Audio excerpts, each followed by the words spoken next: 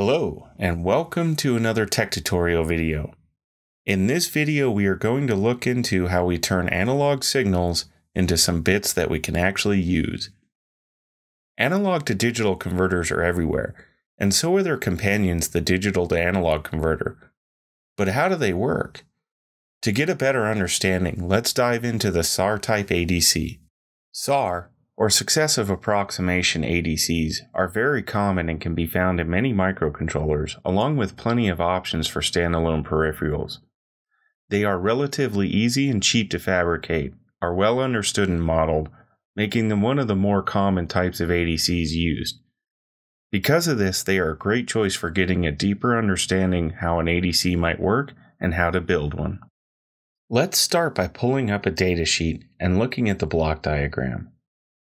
Looking at the MCP3221, which is a single channel 12 bit I2C ADC, we can see in the block diagram that the core to how most ADCs work is by generating a voltage from a DAC and comparing this to an input voltage.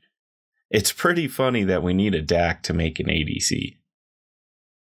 To keep the scope of this tutorial down, we will skip the sample and hold portions as they are a bit difficult to build on breadboards given all the leakage and parasitics present.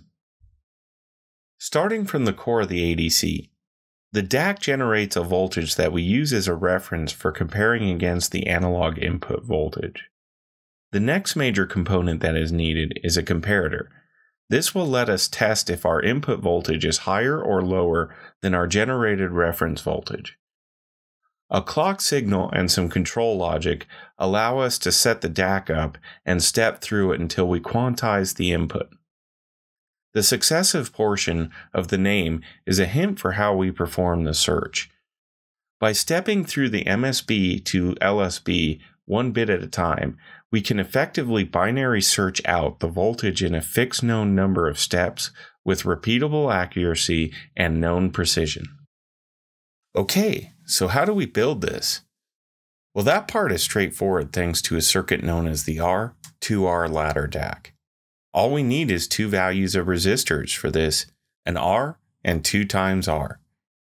One of the key features of this type of DAC is the output impedance is R, allowing us to tune the DAC to the load. While most integrated SAR ADCs use charge distribution DACs, there are still plenty that are implemented with an R2R ladder. For this video, the ladder DAC is much easier and it's what we will use. After the DAC, we need a comparator and a clock signal. In this case, we are using an LM393 comparator but an op amp would work with some gotchas mainly dealing with saturation delays and group delays. In these types of circuits, comparators are the tool of choice. The comparator will test our reference voltage generated by the DAC to the input voltage and output a signal indicating if the reference voltage is higher or lower. Using this signal, we can build some logic that decides if we need to keep this bit of the DAC high or low as we step through the DAC's bits. The final part is some control logic. In this tutorial, we will use a Teensy and some firmware to act as the control logic, but this could be built using some 74 series logic or even modeled out of all NAND gates. Okay, let's build it, but first let's nail down some of our design requirements. We want a 10 bit ADC that can sample at 100 Hz and has a max input of 3.3 volts. Simple enough, but gives us some guidance to work from. Since we know our sample rate and bit size, we can calculate the minimum clock speed we need to hit our requirements.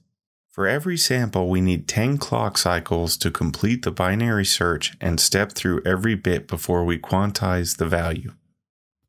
That means we need to clock at at least 1 kHz to achieve the sample rate. Ideally, we should derate this and allow for margin and design at potentially double the clock rate. Given our goals and the fact that we're building this on a breadboard, I think we'll just settle for what we can achieve. To make this a bit easier, I'm going to use a Teensy 4.0 to handle the clock and control logic.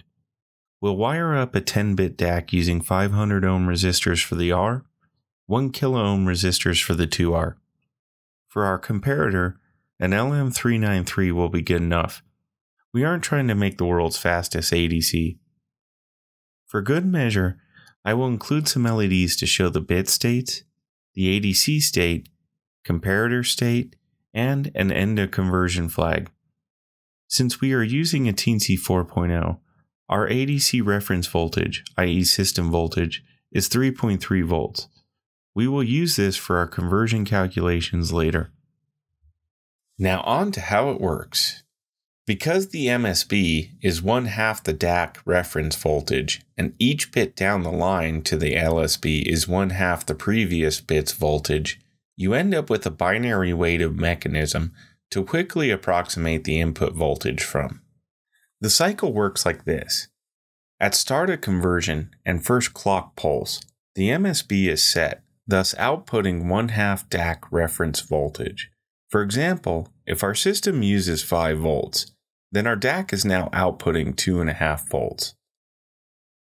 We are now comparing the generated voltage to the analog input voltage we want to quantize. If our DAC's voltage is lower than the input voltage, we keep this bit set high. If our DAC voltage is higher, then we want to clear this bit. On the next clock pulse, the process is repeated. The next bit is set high and the comparison is made again. We check the result of the comparison to see if we need to keep this bit set or clear it. By stepping down each bit of the DAC and running the comparison, we can binary search what the input voltage is based on the resulting combination of bits the DAC is set to at end of conversion. In this example, the next bit represents one quarter of the DAC's reference voltage. If our system is 5 volts, then when this bit is set, there is 1.25 volts added to the DAC. Each bit is then half the contribution of the previous bit. The total DAC output voltage is the number of bits that are set added up, thus giving us our approximated analog input voltage. We can then take this binary number and use it in our code to tell us what our battery voltage is, or even decode information from a wireless signal. Let's read some analog signals. To start with, let's try some DC voltages and see if it's in the ballpark compared to a DMM. Keeping in mind that we don't have a sample and hold, and we may have some compounding errors, INL, DNL, limiting our effective number of bits. But with any luck, we should be able to get within an LSB or two. Measuring with a DMM, we dial in 1.625 volts on the analog in side and can start a conversion stepping down all 10 bits and see if the result is in line with what we expect. Now that we know we can read DC voltages close enough, let's move on to feeding in a sine wave and see if we can pick it out with the ADC. Adding in some code to output our calculated voltages, we can plot a graph of the output and see if it matches up to what we expect. And look at that, even though we don't have a sample and hold, we can clearly pick out a 100 Hz sine wave. This was a fun video to make, and I hope everyone enjoyed and learned about how SAR ADCs work. And if you end up making your own ADC, please let me know in the comments. Please like and subscribe. See you next time.